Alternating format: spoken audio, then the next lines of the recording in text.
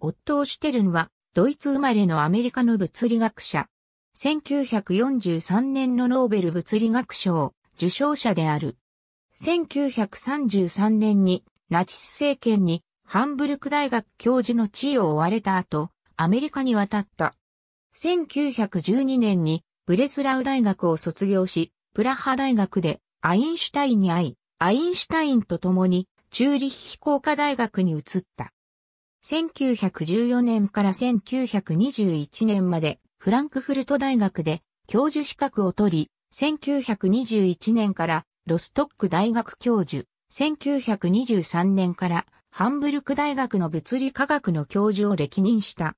初期の研究は理論物理学の分野であったが1919年頃から実験物理学の分野に移り原子線、分子線の実験方法の開発を行った。